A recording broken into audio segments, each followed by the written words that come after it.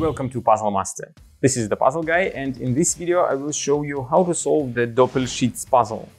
This puzzle was designed by Jean-Claude Constantin, a famous French puzzle designer who lives in Germany. Difficulty level of this puzzle is 7 out of 10 on a Puzzle Master's difficulty scale that runs from 5 to 10 and the goal of the puzzle is to pack all parts inside the frame.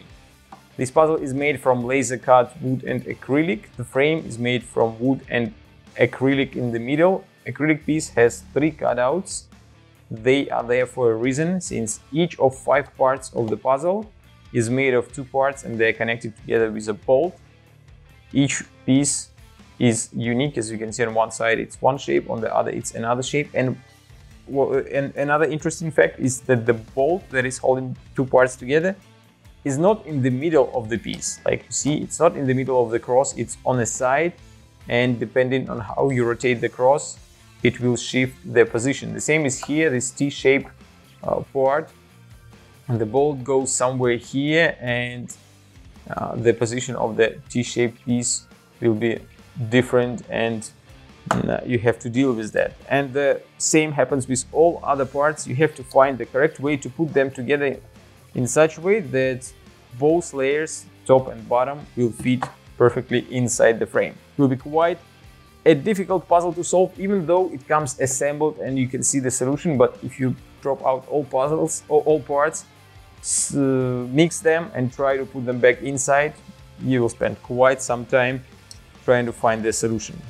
If you like the Doppelschicht puzzle, which by the way translates from German to English as two layers or double layered puzzle. Uh, if you like this puzzle and you want to buy it, go to puzzlemaster.ca. And if you want to see the solution of this puzzle, keep watching the video. Now let's try to solve it. I'm gonna start with these two parts. They are difficult to put together since depending on the position of a cross it will be different. Okay, it will be like so. I'll show you the final result when I put everything inside the frame since it will be very difficult to flip each piece uh, to show you how I put them. So I'll show you just the result, result at the end. This piece will go right here. Let's see, yeah, it fits nicely. Then I grab this large part, put it here and the last one will be this one it goes to the bottom layer here and the top layer goes here and everything is assembled looks nice but here is another challenge. You have to put everything inside the frame. To do that you have to lift up the top layer and make sure that the shape won't fall apart. Since if it falls apart you have to start over.